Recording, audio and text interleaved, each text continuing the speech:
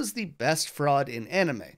Reigen in Mob Psycho is all about pretending he's some master psychic as he works with Mob. Joseph Joestar is constantly outwitting and manipulating his opponents in battle. Just about every character in Kakegurui or No Game No Life try to lie and cheat so they can win their games, and Miroku in Inuyasha scams villages all the time with fake exorcisms to get free room and board. But while all of these are great, I think I have to go with the characters from The Great Pretender. This is an anime all about con artists that travel the world pulling off massive heists. If you haven't checked it out, definitely do. I promise it's fantastic. But in the meantime, you can take a look at my spoiler free video talking all about the inspiration behind the series in Ferdinand Demara. This is a real life con man who lied his way into insane situations like being a naval surgeon, a warden, and even starting a university. He's definitely the best fraud who ever really lived, but that leaves the question